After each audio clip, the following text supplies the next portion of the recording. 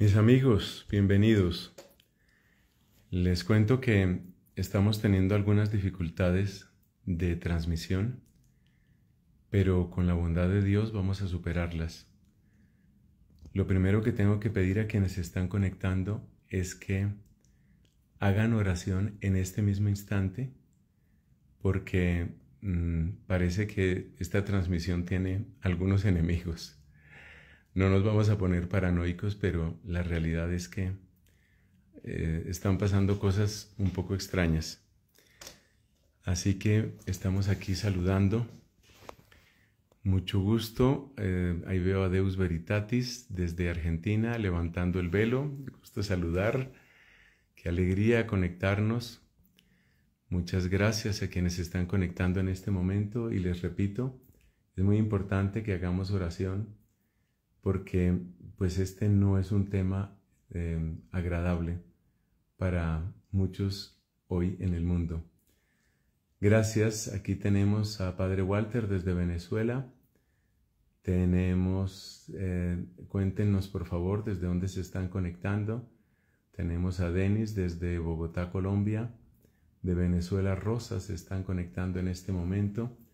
Un poco más de 300 personas para este tema tan importante que lo vamos a tratar con el máximo respeto, con el máximo amor, como siempre lo hacemos. Aquí tenemos un saludo desde México, de Lucía, muchas gracias, desde Guatemala, Tabasco, México. Son hermosos saludos desde Tijuana, México, Bogotá, Colombia, Alexandra, gusto que te conectes, desde Turlock, California, Cúcuta, Colombia. Muchas gracias, muchas gracias a quienes nos están dando este reporte de sintonía.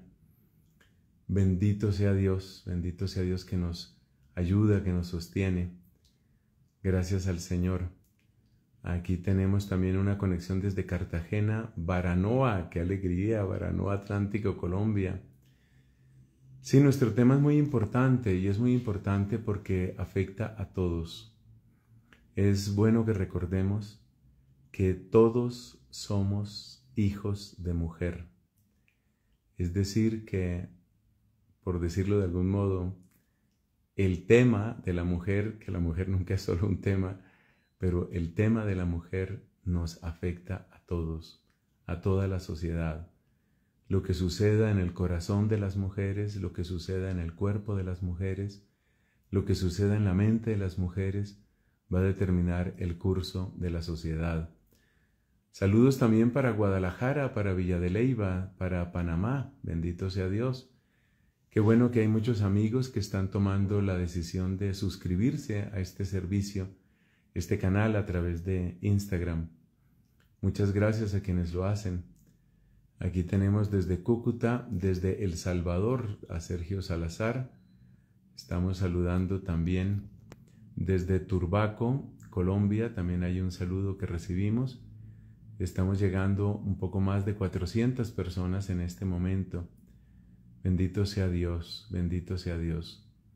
Gracias por los saludos, por el cariño, igualmente desde Paraguay, Connecticut, Estados Unidos. Les invito cordialmente a que aprovechen esta ocasión para suscribirse. Continuamente estamos enviando predicación todos los días. Estamos enviando servicios de predicación, de exégesis, de formación.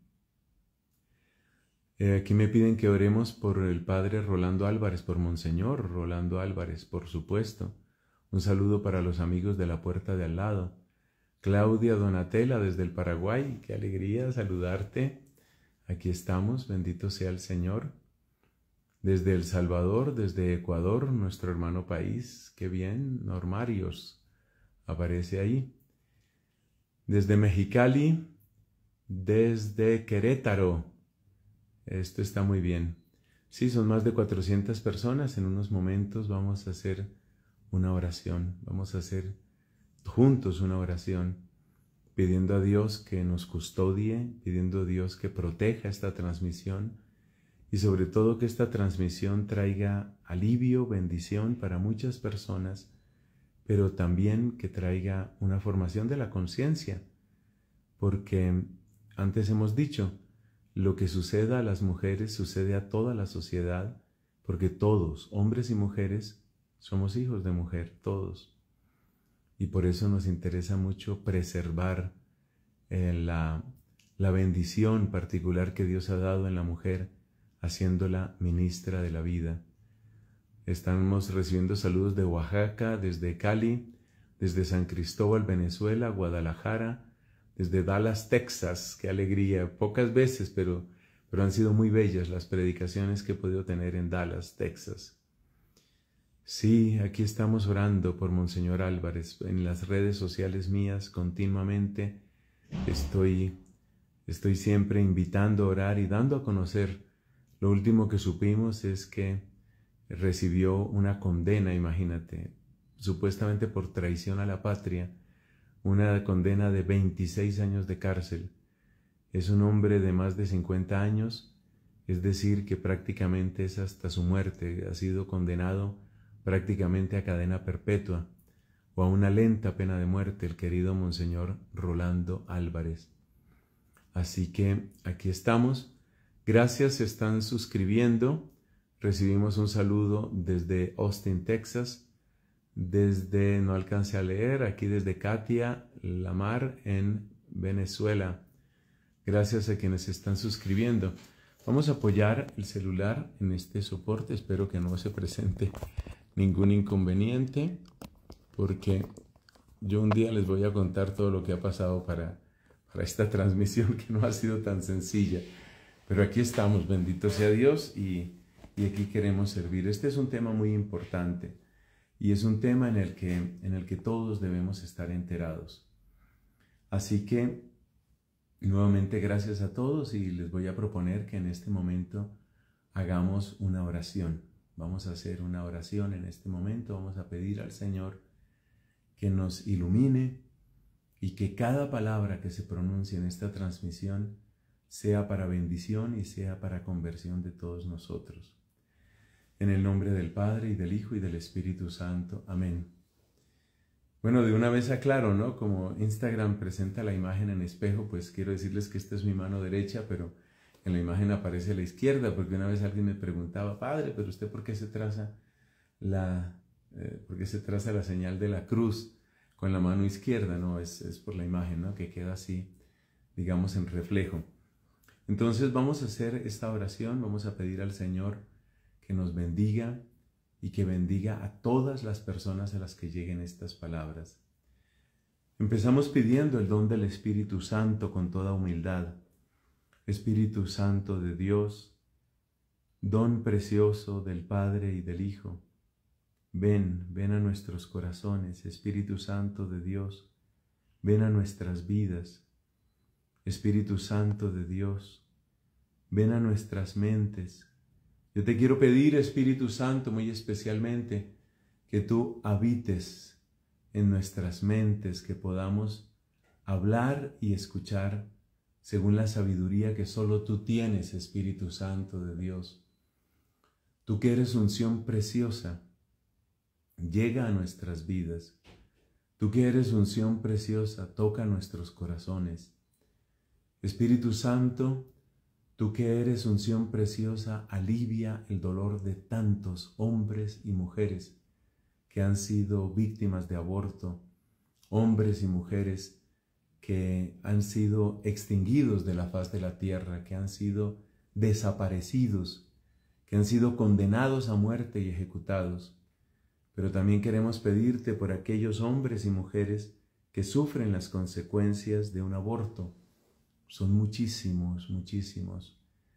Siempre se habla de las consecuencias para la mujer cuando se habla, pero sabemos, Espíritu Santo, que hay muchos hombres que han visto con impotencia cómo sus hijos eran condenados a muerte y la ley no los protegió.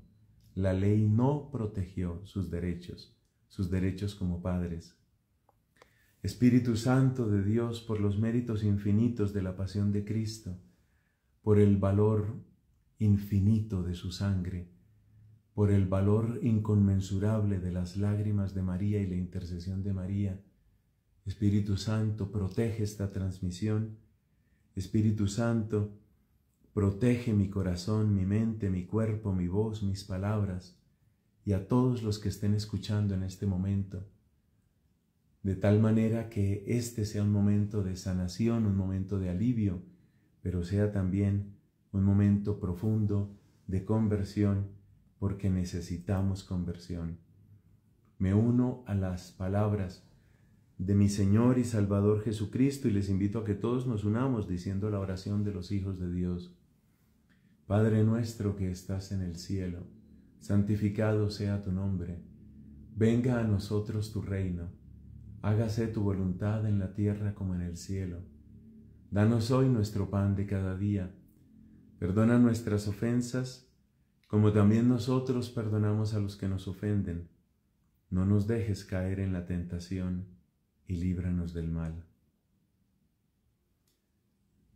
María Santísima, hoy más que nunca quiero pedirte tu abrazo de amiga, de hermana, de mamá, de mujer, muy especialmente para las mujeres, para aquellas mujeres que se están conectando en directo en este momento y para aquellas mujeres que han de recibir después estas palabras a través de los distintos servicios en las distintas redes sociales. Muy especialmente te pido bendición para las mujeres. Pero tú sabes, María, y tú lo sabes mejor que nadie, que esta situación del aborto, esta enfermedad, que esta llaga social del aborto, produce daño por todas partes, destruye e insensibiliza el corazón del personal de salud. Esta enfermedad del aborto destruye, despedaza vidas de mujeres que llegan algunas veces a considerar incluso quitarse la vida, como yo lo he escuchado como sacerdote y no me puedo callar. María Santísima, tú sabes lo que esto ha afectado a tantos varones, especialmente a aquellos a quienes yo con estos ojos he visto llorar les he visto suplicar, no hagas eso, no hagas eso. Pero la ley no los protege. No hay protección para el papá. No importa la voz del papá. María Santísima, toma en tus manos puras, tus manos virginales, tus manos llenas de amor, toma el corazón de estos varones que también han sufrido mucho y que tienen su propio síndrome post-aborto. Unámonos, hermanos, con la oración que nos recuerda la declaración del amor de Dios a María. Dios te salve María, llena eres de gracia, el Señor es contigo. Bendita tú eres entre todas las mujeres, bendito es el fruto de tu vientre Jesús. Santa María, Madre de Dios, ruega por nosotros pecadores, ahora y en la hora de nuestra muerte. Amén. Yo voy a pedir también la protección de los santos ángeles, muy especialmente San Miguel, que San Miguel nos, nos acoja y que nos defienda. Les cuento, nadie se va a asustar, por favor, esto es solamente para que oremos. Yo tengo mi cuenta de Instagram viva en un portátil, en una tableta y en un celular. Y se ha bloqueado completamente el servicio, tanto en el portátil como en la tableta. Parece que ha habido un intento muy serio de hackeo muy serio y estamos luchando en este momento para que esta transmisión continúe y continúe viva. Y mientras yo voy haciendo la invocación a los santos ángeles, quiero pedirles a ustedes que como no nos vamos a rendir, en este momento le escriban a sus grupos, a sus comunidades, a sus amigos, a sus grupos de chat, de WhatsApp, de cualquier servicio que ustedes estén utilizando utilicen esos servicios para invitar a otras personas a que se conecten en este momento. Estamos viendo lo que está sucediendo. Esto es increíble, a mí eso no me había pasado nunca. Por un momento llegué a pensar que no íbamos a poder hacer esta transmisión, pero no, no han logrado y esperamos en el nombre de Cristo Señor que no puedan lograr interrumpir esta conexión que estoy haciéndola a través del celular porque todos mis otros servicios han sido bloqueados por los intentos de hackeo. Son más de 550 personas en este momento. Díganles a sus amigos, díganles a sus parientes, díganles a las personas de sus grupos que se unan ya en este momento, que se unan y que oren, porque ustedes saben que esto no sucede porque sí. Ustedes saben que esto es difícil, pero estamos tranquilos. No hay en nosotros desesperación. Estamos tranquilos y estamos alabando a Jesucristo. Y estamos alabando al Dios de la vida. Y estamos defendiendo el derecho de los que no han nacido. Y como dice el hermoso lema, estamos defendiendo las dos vidas. Claro que defendemos la vida que está por nacer, pero también estamos defendiendo la vida, la integridad psicológica y emocional, la integridad espiritual y afectiva de las mujeres, de los varones también, pero muy especialmente hoy de las mujeres. Yo bendigo a Dios, cerca de 560 personas ya conectadas y vamos a seguir. Ahora voy a hacer la oración de los santos ángeles. Mejor dicho, voy a hacer una oración a San Miguel, la que ustedes conocen, y después voy a hacer una oración general a los santos ángeles. San Miguel Arcángel, defiéndenos en la pelea, sé nuestro amparo contra la maldad y las acechanzas del demonio. Reprímale Dios, como rendidamente se lo suplicamos, y tú, príncipe de la milicia celestial armado del poder divino, precipita al infierno a Satanás y a todos los espíritus malignos que para perdición de las almas andan por el mundo. Lo suplicamos por Jesucristo nuestro Señor. Y ahora pedimos la intercesión de los santos ángeles. Yo tengo también aquí mi, cruz, mi cruz bella, mírala. Mira aquí la, cruz bella de, de San Benito. Bendigo el misterio de la cruz, bendigo la sangre santísima de Cristo, que es nuestra redención. Esa sangre que de alguna manera se renueva con dolor espantoso para nuestras almas, se renueva cada vez que se derrama sangre inocente sangre de niños inocentes que mueren de hambre, que mueren de violencia, que mueren por abusos, pero también los niños que no alcanzan ni siquiera a nacer. Entonces pedimos la protección de los santos ángeles. Voy a decir la oración despacio y ustedes van repitiendo. Ángeles de Dios, que en las alturas del cielo veneráis al Altísimo.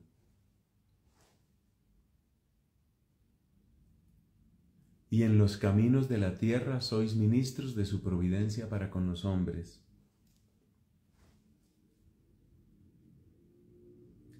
Haced nuestros corazones semejantes a los vuestros, prontos a la alabanza de Dios y al servicio de nuestros hermanos por Jesucristo nuestro Señor. En el nombre del Padre y del Hijo y del Espíritu Santo. Amén. Gracias a todos los que se están uniendo. Gracias a todos los que están orando. También hemos recibido un par de mensajes un poquito raros, un poquito agresivos. No nos asustamos. Son más de 600 personas conectadas y estoy seguro que la gran mayoría de ustedes están orando. ¿Cómo vamos a compartir este tema? Bueno, vamos a, recordar en primer lugar por qué nosotros nos oponemos al aborto como una manera de apoyar a la mujer. Ese es el primer punto fundamental. Porque constantemente nos están diciendo, a los que somos pro vida, constantemente nos están diciendo que nosotros vamos en contra de los derechos de la mujer que vamos en contra de los derechos, eh, derechos, como, llaman ellos, sexuales y reproductivos de las mujeres. No, nosotros luchamos en contra del aborto como una manera muy eficaz de amar y defender a las mujeres. Entonces nos damos cuenta que el aborto, ¿qué supone? El aborto supone la eliminación de un ser humano lo que está en gestación es un ser humano. Un ser humano que está en las primeras etapas de su desarrollo. Lo mismo que cada uno de nosotros. Cada uno de nosotros estuvo en esas fases iniciales. Esas fases que son cuáles? Pues lo sabemos por la biología. Cuando se forma el cigoto, cuando se forma el embrión, cuando se forma el feto. Estas palabras no hay que descartarlas, porque son los nombres de etapas de la vida humana. Así como ser bebé, ser infante, ser niño, ser adolescente, son nombres de etapas de la especie humana, del crecimiento humano, de la maduración humana. Así también, ser cigoto, ser embrión, ser feto, son etapas de la formación de un ser humano. Y esto se nota inmediatamente cuando nosotros hablamos de cuál es la especie a la que pertenece esto que se está gestando en el vientre de una mujer embarazada. ¿A qué especie pertenece?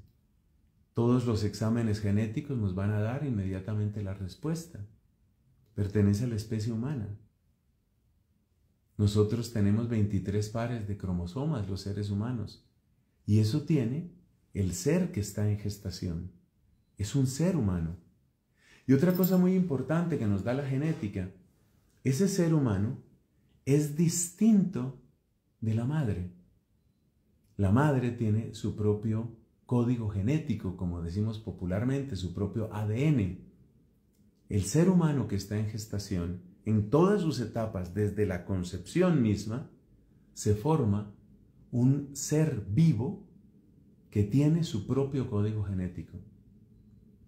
Entonces, cada vez que se habla a favor del aborto, se omite completamente la humanidad de ese ser que está en gestación. Entonces nos hablan, y es importante hablar de eso, yo no estoy diciendo que no. Entonces nos hablan, por ejemplo, de la tremenda situación, la dura situación que pasan muchas mujeres. Y esto no debemos descartarlo, atención. Esto es algo muy importante. Nosotros no nos olvidamos del dolor de las mujeres, de las angustias que pasan por distintas razones. Por ejemplo, por el engaño. Hermanos, les hablo con fraternidad y con cariño. Yo soy sacerdote por bondad de Dios. Hace 31 años. Créeme que en 31 años uno ha escuchado muchas personas, a muchas personas. Y cuando uno escucha a tantas personas, pues uno sabe de lo que viven, uno sabe Perdóname que necesitamos aquí conectar, no se nos vaya a acabar la pila del, del sistema de conexión que tenemos, ¿cierto? Entonces yo tengo que conectar aquí. Es mi paciencia. Vamos a conectar aquí un momento. Vamos a conectar aquí.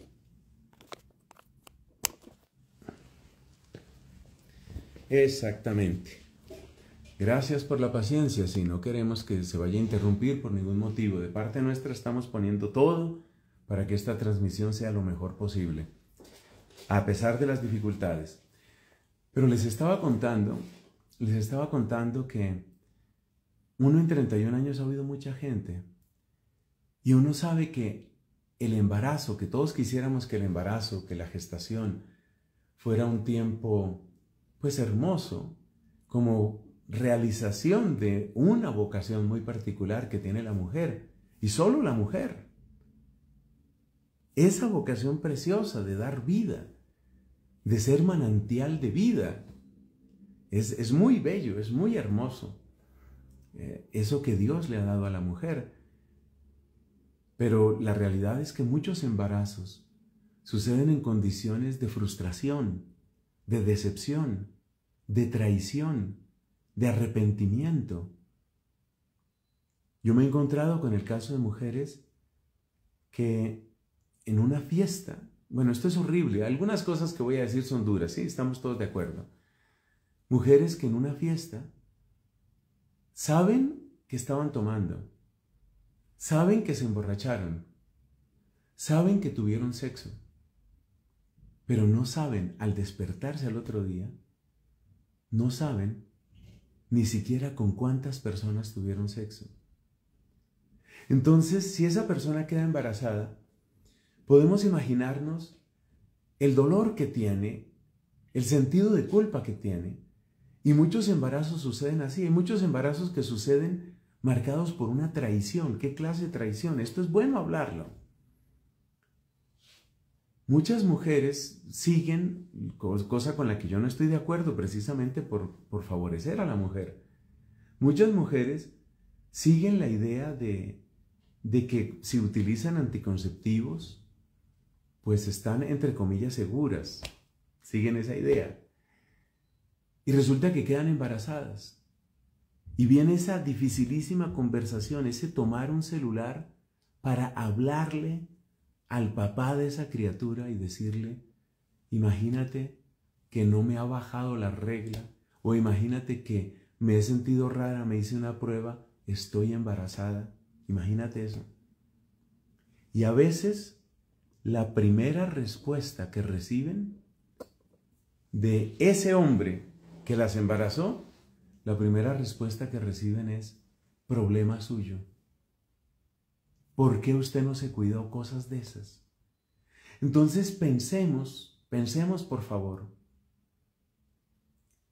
¿cuántos embarazos suceden en medio de angustia?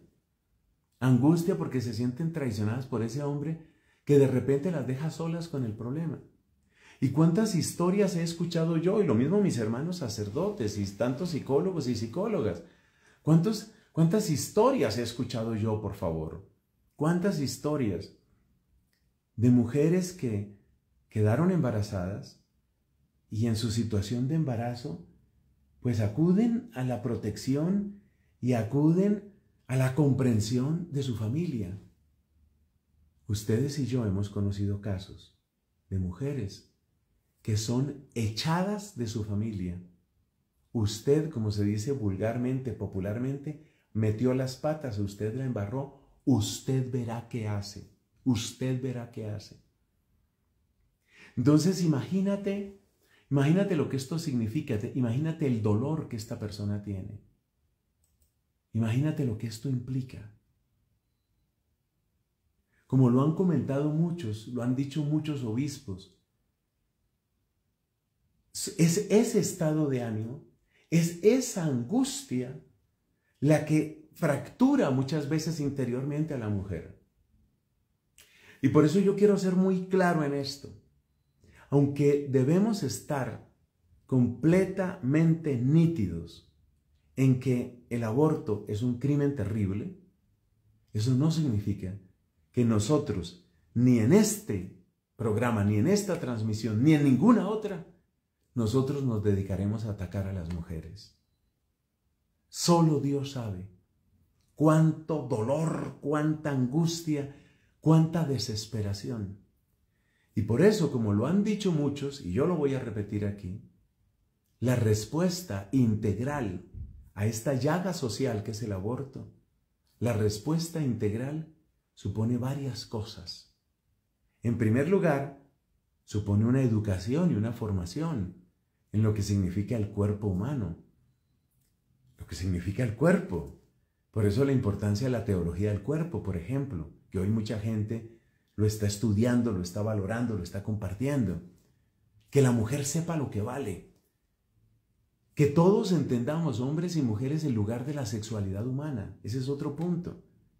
Que no hagamos de la sexualidad humana una especie de juguete, una especie de entretenimiento. No, no es eso. No es eso.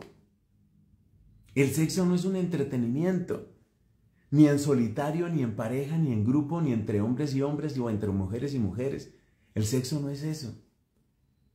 Entonces necesitamos una parte de formación muy grande. Y dentro de esa formación es muy importante que las mujeres comprendan todo lo que ellas pierden cuando caen en el engaño de que entregándose a los hombres, entre comillas, los aseguran una y otra vez. Perdónenme que hablo ya como un viejito, pero es que los años también traen experiencias y es mucho lo que uno ha llorado por estos temas, hermanos. Y yo les quiero decir que una y otra vez uno se da cuenta del engaño tan terrible en el que caen las mujeres cuando van cediendo en esa sexualidad con hombres que no son sus esposos, el error tan terrible en el que caen Porque muchas veces lo que sucede es que el hombre, que ya tiene todo, porque ya tiene acceso a todo el cuerpo y todo el placer de ella, es el hombre menos interesado en casarse. Entonces necesitamos primera fase clave, clave en la, en, la victoria sobre el aborto, porque yo no hablo aquí simplemente de lucha, sino yo hablo de victoria, porque tenemos que llegar al aborto cero, eso es clave. Tenemos que llegar al aborto cero. Pero para llegar a eso se necesita formación, una formación muy grande. ¿Qué más se necesita? Mira, se necesita mucho, pero mucho amor, comprensión que rodea a la mujer. Incluso si ella quedaba embarazada. Sea en un acto violento, que también sucede, también está el caso de las violaciones, sea por engaño, sea por seducción, sea por culpa de ella, en el sentido de que, pues sí, la, la, carne, pues el deseo carnal está en los hombres y en las mujeres. La mujer siente lo mismo que sentimos los varones. Pero haya sucedido lo que haya sucedido, nuestra actitud siempre tiene que ser de acogida, de comprensión. Jamás vamos a trivializar el crimen del aborto. Jamás. Nunca vamos a decir, no, eso es normal o eso está bien. Nunca lo vamos a decir. Pero sí debemos decir que la respuesta jamás será hundir a la persona en la desesperación y llevarla a que incluso termine de destruirse. No, eso no lo vamos a hacer. Entonces, la, primera gran respuesta frente al aborto está en todo esto que hemos llamado formación de hombres, de mujeres, el valor del cuerpo, el lugar de la sexualidad, las trampas afectivas en las que caen muchas mujeres tratando de asegurar hombres. Todo eso, todo eso tiene que quedarnos claro. Bien, perfecto. Pero además de todo eso, necesitamos siempre rodear de amor, de escucha, de comprensión a la mujer. Y es muy interesante ver cómo las grandes campañas que se están haciendo ahora para defender las dos vidas, las dos vidas, siempre insisto en eso, son campañas que les ofrecen, les ofrecen alternativas reales de amor, de crecimiento personal.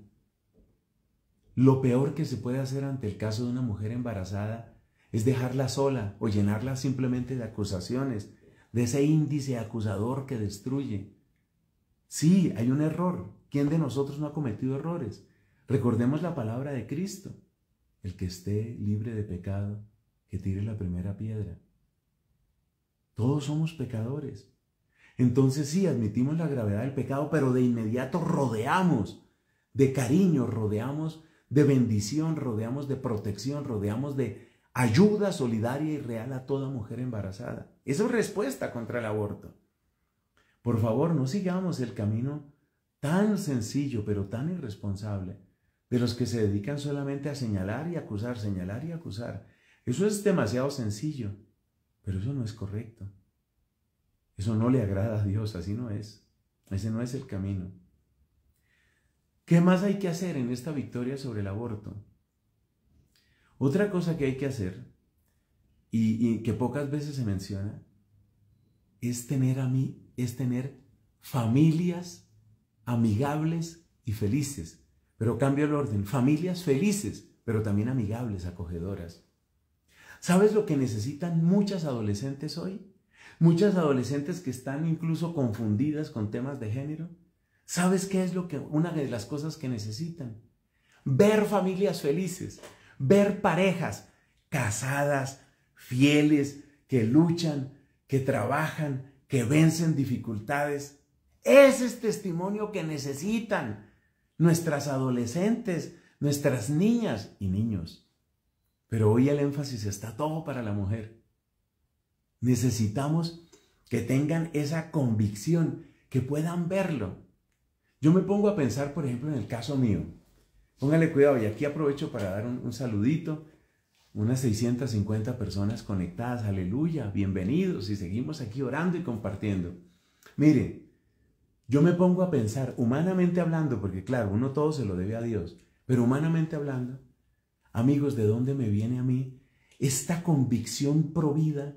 Que es una cosa que está aquí en las entrañas, es una cosa que me sale de lo profundo del alma. ¿Sabes una de las raíces cuáles? Mis papás. Mi papá, mi mamá, Ver la manera como se trataron. ¿Que tuvieron dificultades? Sí. ¿Que tuvieron tensiones? Sí. ¿Que hubo peleas? Sí. Yo sé eso. Todo eso lo sé. Pero cada dificultad era el comienzo de una victoria. Escribe esa frase que te conviene. Repito, cada dificultad era el comienzo de una victoria. Ese podría ser el título de una conferencia o de una película. Tú imagínate que el cine fuera otra cosa de lo que es hoy en día. Imagínate ese título para una película. Y cada dificultad era el comienzo de una victoria. Esos fueron mis papás. Entonces los niños y sobre todo las niñas de hoy necesitan ver eso. Necesitan ver parejas felices y fieles. Decía un obispo por ahí que lo que más se necesita en la familia que empieza con la letra F, a ver si, si hago aquí la, la F así, o yo no sé si hacerla así. En todo caso, tú me entiendes. Las familias necesitan ser felices, fieles y fecundas. Felices, fieles y fecundas. ¿Lo repito? Felices, fieles y fecundas. Si nuestras niñas ven familias felices, fieles y fecundas, una niña que ha visto eso, una niña que ha visto lo que vieron mis ojos, no soy niña, pero lo vieron mis ojos, y de ahí me brota esta alegría para hablar del tema vida. Cada dificultad y cada dificultad era el comienzo de una victoria. Cuando eso sucede, uy, uno se vuelve provida, 100% provida, dramáticamente provida totalmente. Necesitamos que las chiquitas de hoy, que las hermosas niñas, esas hijas de ustedes o esas jovencitas que están conectadas ahora mismo, yo sé de varias que están conectadas en este instante, necesitamos que ellas vean familias felices, que las vean, que, puedan ver familias felices, que puedan gozarse, que puedan al irse a acostar, tú piensas una chiquita, así unos 11 años, me parece tan tierna esta imagen, o sea, me conmueve porque es algo muy hermoso. Una chiquita por ahí de 8, 10 años, 11 años, que se acuesta y hace sus oraciones y le dice al ángel de la guarda, ángel de la guarda, cuando yo sea grande, yo quiero tener un esposo como mi papito. ¿Te imaginas? Esas son las mujeres que el día de mañana van a llevar un noviazgo limpio, bello, bien llevado, profundo, no una cosa superficial, una cosa bien llevada, que no se van a dejar ni engañar ni seducir.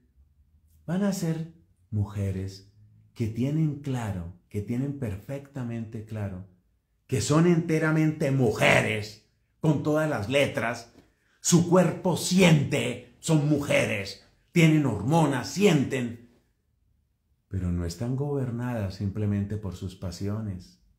Son mujeres que sienten, que conocen que sus cuerpos son maduros y responden, pero son mujeres que no están gobernadas por las pasiones.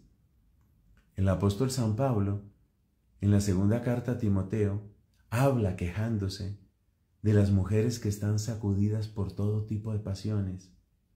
No, nosotros necesitamos para el futuro de nuestras ciudades, de nuestros países, yo lo pido especialmente para Colombia, pero hoy no puedo dejar de pensar en Nicaragua, yo llevo a Nicaragua aquí, aquí la llevo.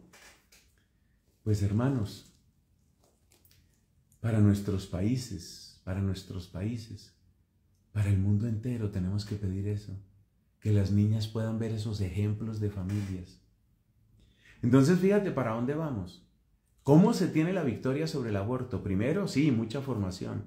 Segundo, vamos a estar siempre rodeando de respeto y de reconocer toda su dignidad a la mujer. Y si ha cometido un error, todos hemos cometido errores y vamos a rodear y vamos a, a apoyar y vamos. Claro, todo eso es conversión también.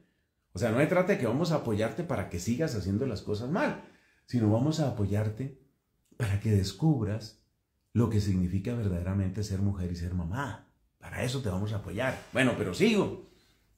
Entonces, segundo, apoyo total a la mujer. Tercero, familias. Ya como dijimos las tres Fs, ¿se aprendieron las tres Fs? A ver quién lo escribe por ahí en el chat. Las tres Fs. ¿Cuáles son las tres Fs? Familias, ¿qué? Familias felices. ¿Qué más? Familias, ¿qué más? Familias fieles. Familias fecundas. Familias felices, fieles y fecundas. Que las niñas vean eso. Cuarto, ¿qué más necesitamos en nuestra victoria sobre el aborto? Pues yo lo puse aquí de cuarto, pero de alguna manera tiene que estar desde el principio de todo. Oración. Yo desde aquí quiero enviar un saludo cariñoso, cariñoso a mis amigos de 40 días por la vida, a mis amigos del derecho a nacer, a mis amigos de todas las asociaciones pro vida que yo he conocido, que son muchas, y también a los departamentos y a las ramas provida de muchos movimientos. Por ejemplo, yo estuve en Estados Unidos eh, en un trabajo muy bello, un, encuentro, un retiro con el movimiento familiar cristiano y me llamó la atención cómo ellos tenían toda una rama trabajando en el tema provida. Desde aquí los saludo y los saludo con amor. Y muchos de estos grupos y movimientos católicos, hay una cosa que tienen clara, que esta victoria es con oración. Mire, yo he hecho decenas de transmisiones, decenas de transmisiones en vivo por Instagram.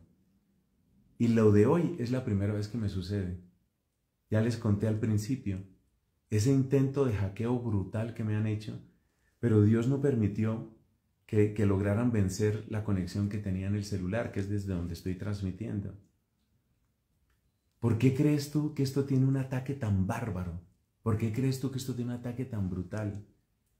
¿Quién crees tú que está detrás de eso? Eso de que a un ser humano absolutamente inocente se le condene con la peor de las penas, que es pena de muerte, dime eso a qué huele. Dime si no huele a azufre. ¿Por qué crees que hemos pedido la intercesión de San Miguel Arcángel? Esta es una, una realidad que debemos tener presente. En una oración profunda de liberación, esto sucedió hace muchos años y lo he contado muchas veces.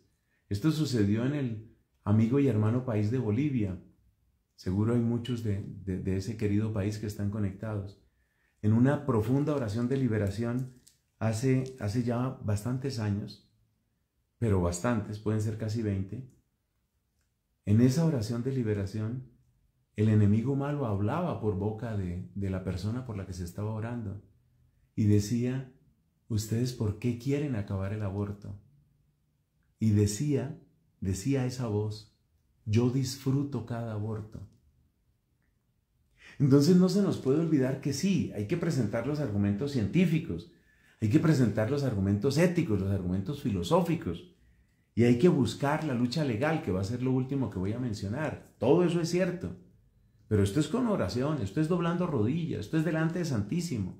Esto es dándole duro, dándole duro, dándole duro a nuestro corazón para decirle, no te des descanso. Hay un salmo muy bonito que dice, no daré descanso a mis ojos, ni reposo a mis párpados, hasta que encuentre un lugar para el Señor, una morada para el Dios de Jacob. Es una oración que recuerda la recuperación del arca por parte de los israelitas y yo creo que nosotros tenemos que, tenemos que tomar esas campañas de oración como la que hace 40 días y otros movimientos, tenemos que tomarlo con mucho impulso, pero con mucho, mucho impulso. Y, lo que dice ahí, no daré descanso, no daré descanso.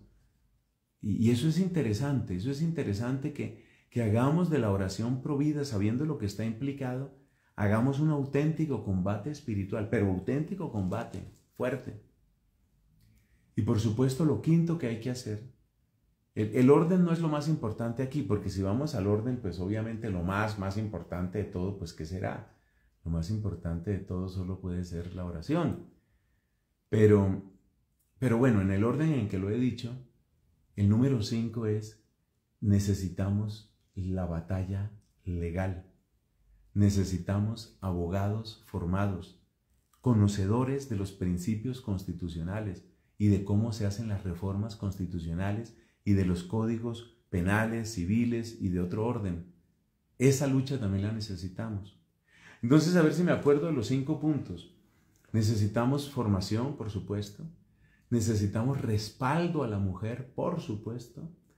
Necesitamos, ¿cuál fue lo tercero que dijimos? Familias, ¿no? Familias eh, felices, fieles, fecundas, que, que, que, que, atraigan los sueños, que atraigan lo mejor de la fantasía y el corazón de niños y niñas, pero muy especialmente de las niñas.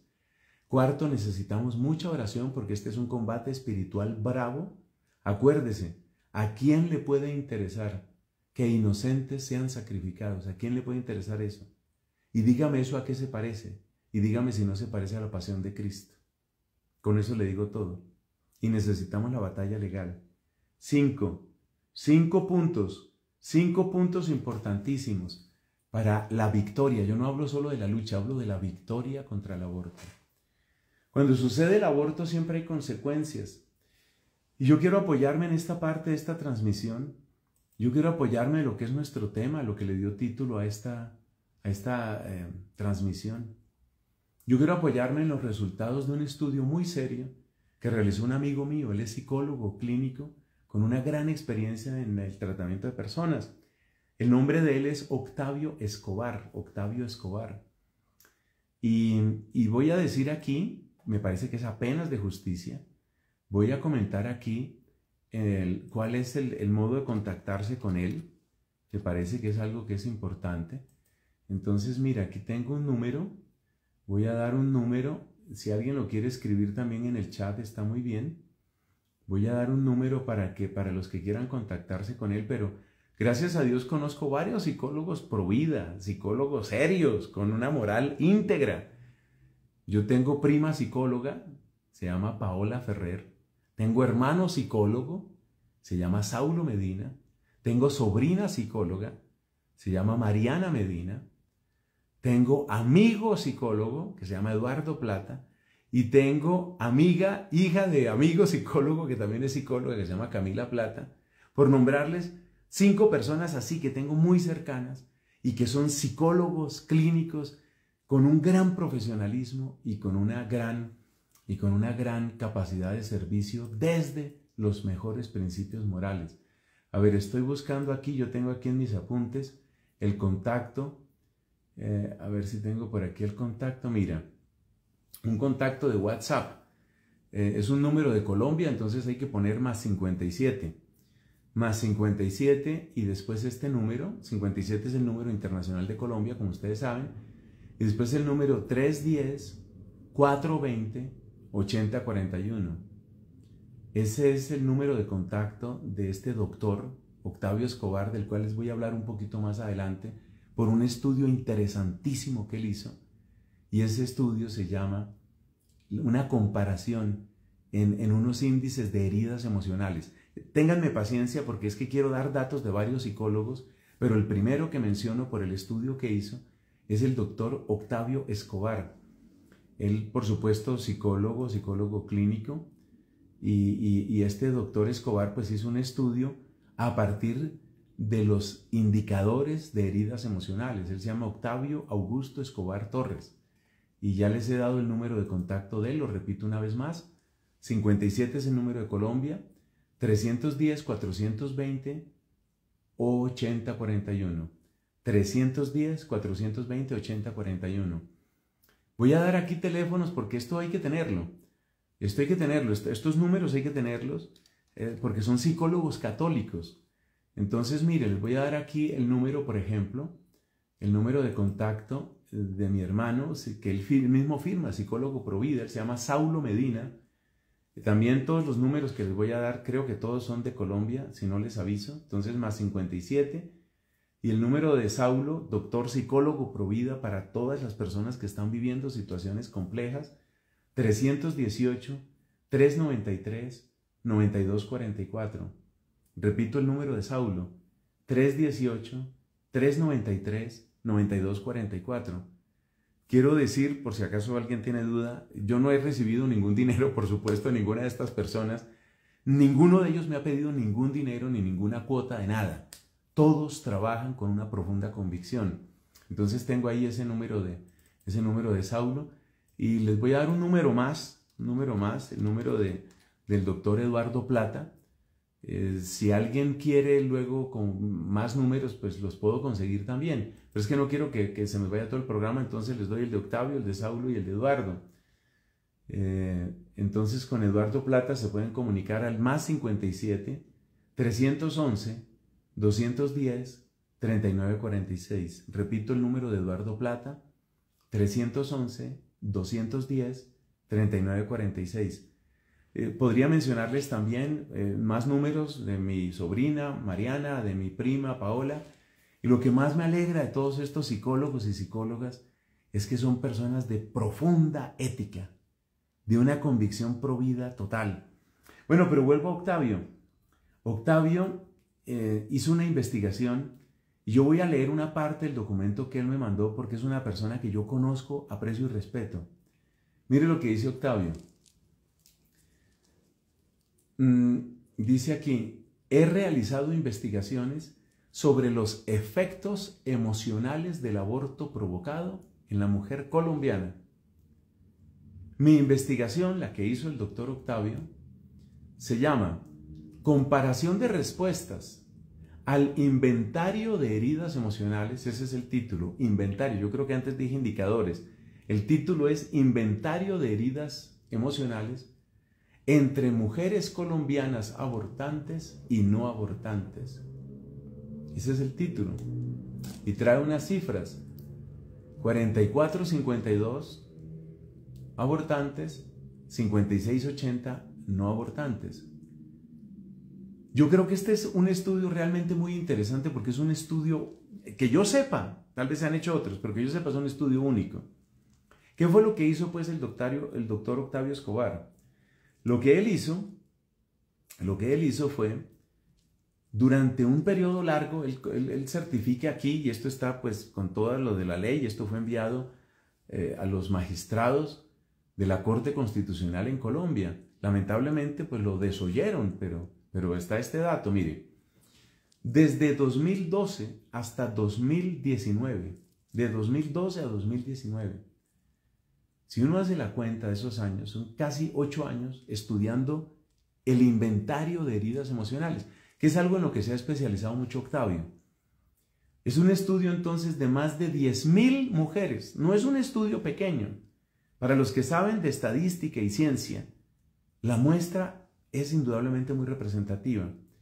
Nos comparte Octavio y dice, el objetivo del estudio fue establecer la existencia de diferencias estadísticamente significativas en las respuestas relacionadas con signos y síntomas emocionales.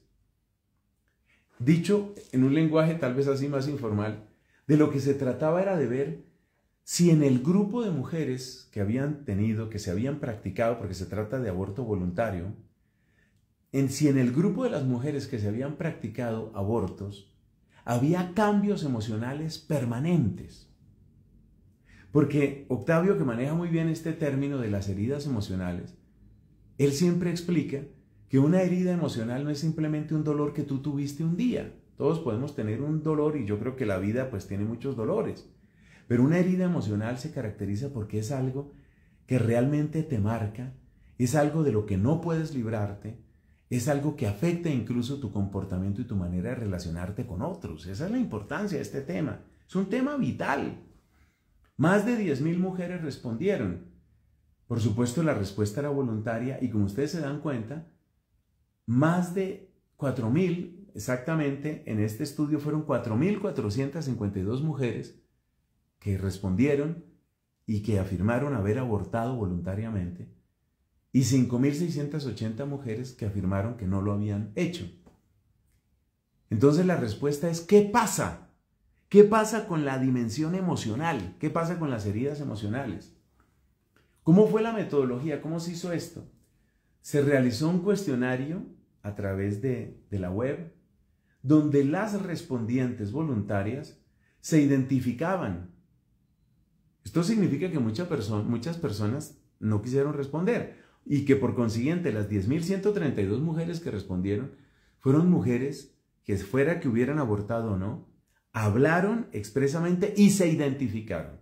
Esta es documentación que llegó hasta la Corte Constitucional Colombiana y yo que tengo formación científica, ustedes lo saben, yo hice mis estudios de física en la Universidad Nacional, yo sé con cuánta seriedad se tratan estas cosas. Entonces, ¿qué había que hacer? Se identificaban con nombre, grupo de edad, correo, teléfono, ciudad, país y se habían cometido aborto. Eso es exponerse mucho, claro, con toda la seriedad profesional. Y esto tiene, por supuesto, todas las garantías en lo que tiene que ver con privacidad. Ustedes saben que hoy hay una legislación muy seria con respecto a la, al derecho a la privacidad de las personas. Pero ¿por qué era importante pedir todos esos datos? Porque nosotros conocemos nuestra gente y nosotros sabemos que si no se piden todos esos datos, alguien podría decir, no, esas son cosas que usted se inventó. Cada una de las diez mil y tantas respuestas está certificada con nombre, edad, correo, teléfono, ciudad, país, etc. ¿Y qué fue lo que se encontró? Comparación de respuestas al inventario de heridas emocionales entre mujeres colombianas abortantes y no abortantes. ¿Y qué es lo que nosotros encontramos?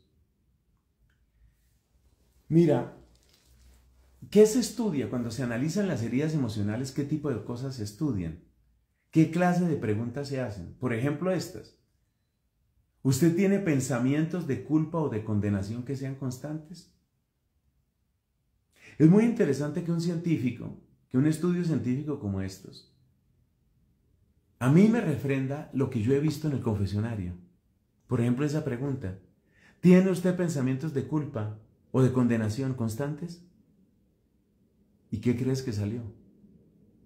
¿Qué crees que salió? Pues ahí lo tienes.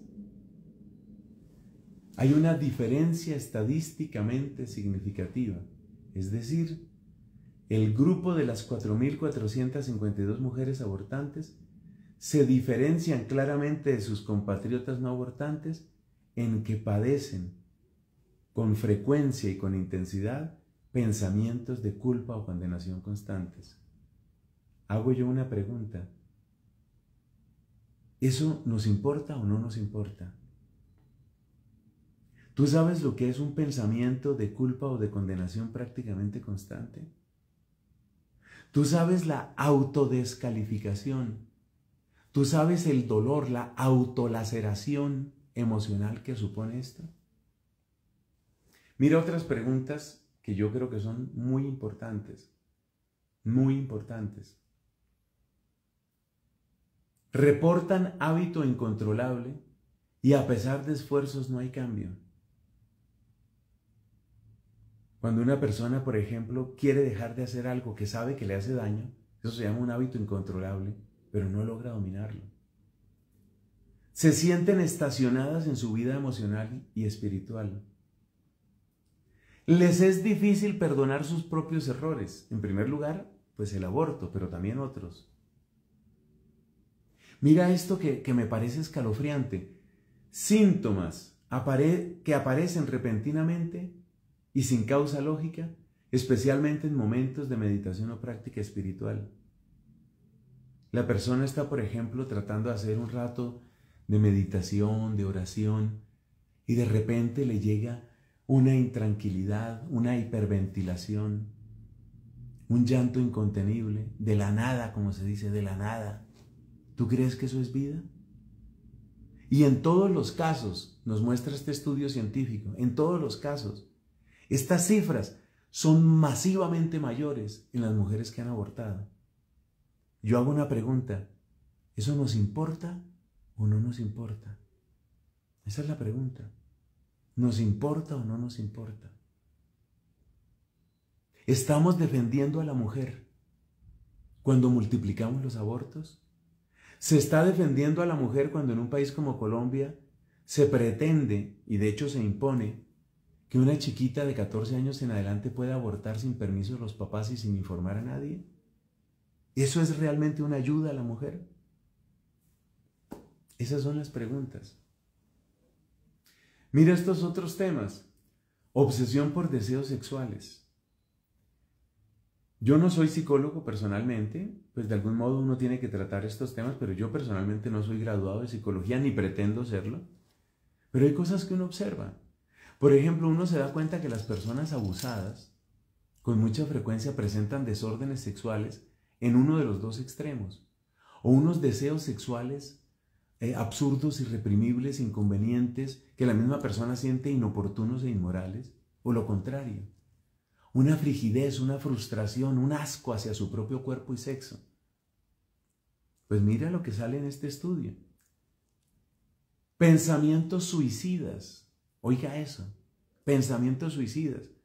Tú haces una encuesta de más de 10.000 mujeres y luego estudias qué dicen las mujeres que han cometido aborto y qué dicen las mujeres que no han cometido aborto.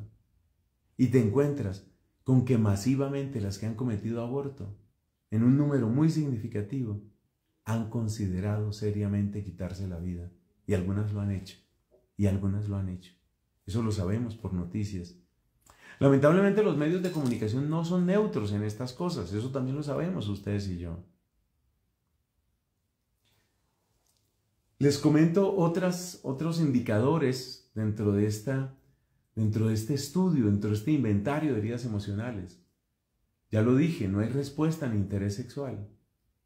Es que tú ponte a pensar, si una mujer estaba teniendo sexo por gusto o por comprar afecto, estaba teniendo sexo con su novio, queda embarazada, el novio la la echa, porque no hay otro modo de escribirlo, perdón la palabra, le niega todo aporte.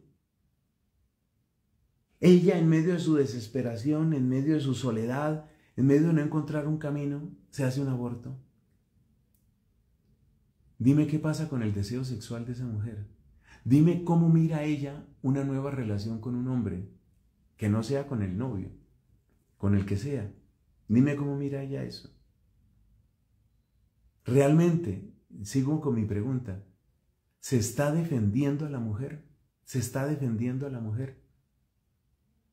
¿Facilitando el aborto, promoviendo el aborto?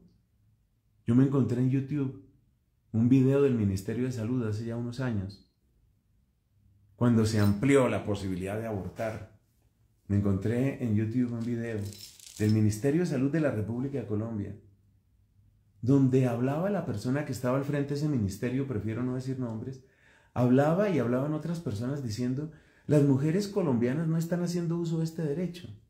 Es decir, no les faltaba sino decir, ¿qué pasa? ¿Qué pasa que no hay más abortos? ¿Qué pasa? ¿Qué pasa? Hay que multiplicar los abortos. Pesadillas o sueños molestos. Personas que reportan que una fuerza las controla. Injerencias de fuerzas mentales, espirituales, entidades que sienten que se les meten, sentimientos profundos de amargura, odio o rechazo hacia algunas personas o hacia grupos, por ejemplo, hacia los hombres. Todos los hombres son un asco, los hombres, los hombres son un asco. Y mira cómo termina este estudio, no he leído todo. Entre las mujeres que han cometido aborto, abunda el deseo de nunca haber nacido. ¿Para qué nací yo? Es el, esta es la realidad del síndrome posaborto. Esta es la realidad. Por favor, no nos dejemos engañar. Esta es la realidad del síndrome posaborto. Y de esto hay que hablar. Para que dejen de vendernos la idea de que abortar es un derecho que empodera a la mujer, que libera a la mujer, que le da autonomía a la mujer. Y todas las mujeres de este estudio que estoy describiendo, realizado por el doctor Escobar, todas esas mujeres, esas mujeres que se han dormido incontables noches con los ojos cargados de lágrimas y repitiéndose, yo no debería haber nacido, yo no debería haber nacido. ¿Esa mujer está empoderada? ¿Eso es empoderar a la mujer? ¿Eso es darle autonomía a la mujer? ¿O eso es destruir a la mujer? Terminemos con una oración. Gracias a todos los que están aquí. Gracias a todos los que intercedieron, porque yo no me quiero hacer víctima, pero es evidente que nos querían tumbar esta transmisión. y en el nombre de Cristo no lo lograron.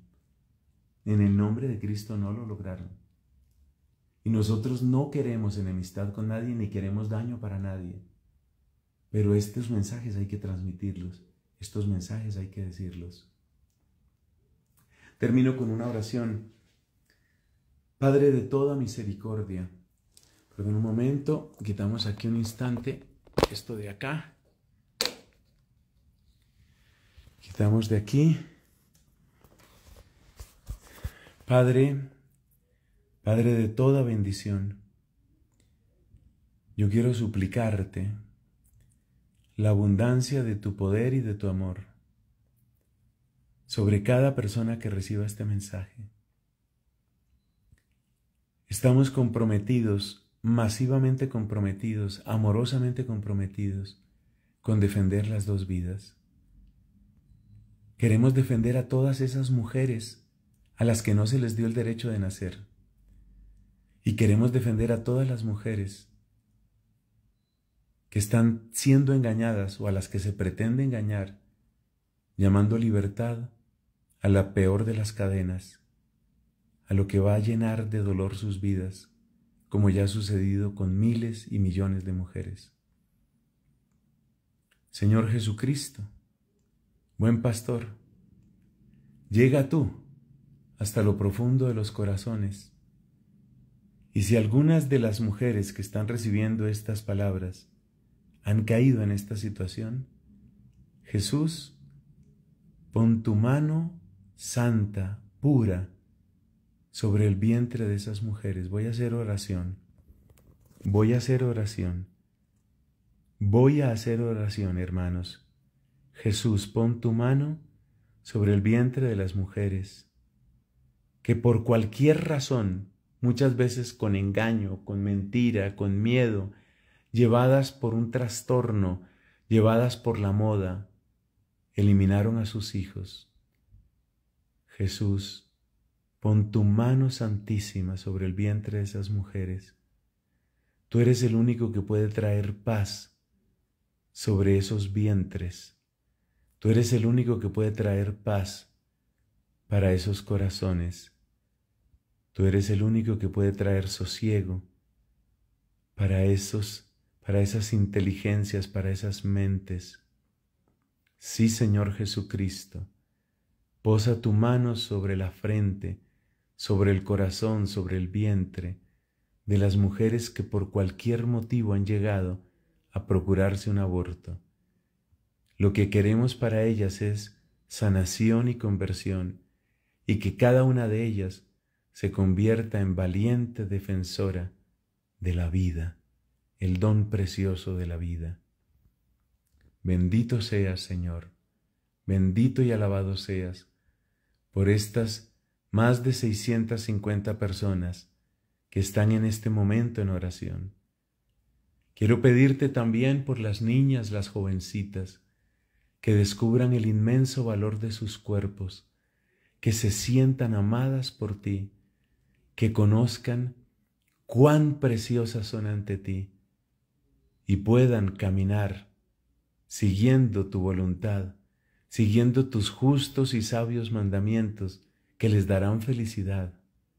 Y si alguna se siente tentada de apartarse, que pronto, muy pronto encuentre, pronto, muy pronto encuentre el camino de retorno. Niñas y jovencitas, llenas del amor de Dios, capaces de soñar, capaces de soñar en hogares felices, fieles y fecundos. Alabado seas Jesucristo por los niños y niñas, y hoy especialmente, por las chiquitas, por las niñas, las adolescentes. Gracias, Señor. Gracias por las mamás, gracias por las mujeres casadas. Gracias también por tantos hombres y mujeres que luchan por defender la vida. Alabado seas Jesucristo, alabado seas. Y en este momento, con mucho cariño, les ofrezco la bendición que quede para ustedes y para todas las personas que un día escuchen este mensaje les bendigo. El Señor esté con ustedes. La bendición de Dios, Padre, Hijo y Espíritu Santo, descienda sobre ustedes y los acompañe siempre. Aquí en el corazón, en mi corazón de sacerdote, de hermano y de amigo, están las necesidades de ustedes y vamos a seguir caminando, porque vamos hacia la victoria, hacia allá vamos. Hasta pronto y que Dios bendiga a ustedes y a sus familias. Amén. Amén, amén.